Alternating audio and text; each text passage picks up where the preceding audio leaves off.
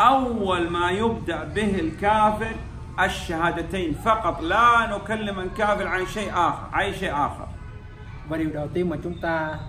bắt đầu để nói cho họ biết rằng đó nói cho họ biết đó chính là hai câu tuyên thệ لا يكلم الكافر لا عن الختان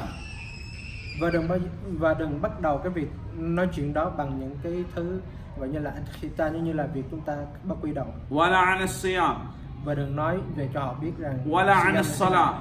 và hành lễ ولا عن الحجاب và cái المرأة việc che đậy thân thể của mình فقط نخاطب بالتوحيد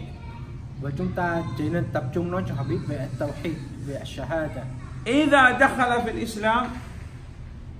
và nếu như họ chấp nhận tôn giáo Islam شرح الله سبحانه وتعالى صدره لكل أوامر الشرع thì tức là thượng đế Allah đã tháo bỏ những nút thắt trong lòng ngực của người đó và đã nới rộng cái lòng ngực của người đó ra رجل نصراني جاء إلى عالم من العلماء và một người đàn ông thiên chúa giáo đã đến gặp một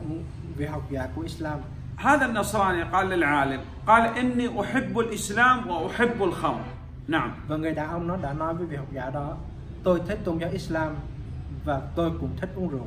يعني ما الذي يمنع هذا من الدخول في الإسلام حب للخمر لأنه يعرف إذا دخل في الإسلام لا يستطيع أن يشرب الخمر và điều gì đã ngăn cản người đàn ông này đến với tôn giáo Islam đó chính là rượu قال له العالم أسلم và sau đó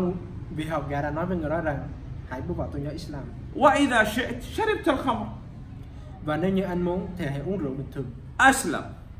hãy bước hãy bước vào tôn giáo Islam قال أنت الآن مسلم và bây giờ anh đã là người Muslim لو تشرب الخمر và nếu như bây giờ anh uống rượu الإمام السلطان يجلدك và vị lãnh đạo của chúng ta sẽ trừng phạt anh